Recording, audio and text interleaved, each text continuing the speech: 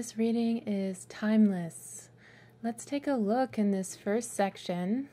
This is divided into this reading is divided into three sections, and we also have three cards here. In this first section, it's all about looking and seeing what is on the table. So here you can see what we've got. Um, in the center is the win card, and there's text on this card. What I do matters, and I can realize any dream. And you can see kind of fuzzy in the background the other cards that we were looking at. There's a hand with yellow nail polish. And this view, it's very similar to the first view, only instead of looking at the back of the two cards, we're looking at the front of the two cards on the left and the right. One is the letter P, and the other one is a mermaid with a blue background and a red light. Here we're looking more closely at these two cards. We can see um, a peeking of a yellow flower in the background. The P is made up of a male and a female mermaid in blues, and the other one is black and white.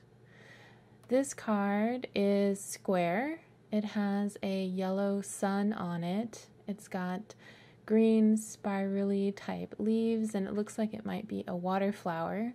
It's the number 8 and it has the word sing on it. Here's the second portion. We're going to read. My victory song is a self care practice, gifting new life.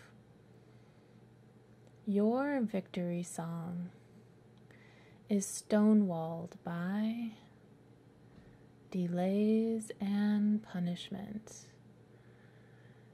All right, the final stage is the remix where you reflect in your own mind about what you just saw and what you just read and apply it to your own life, a little meditation to see whether or not it'll give you some insight about the week ahead.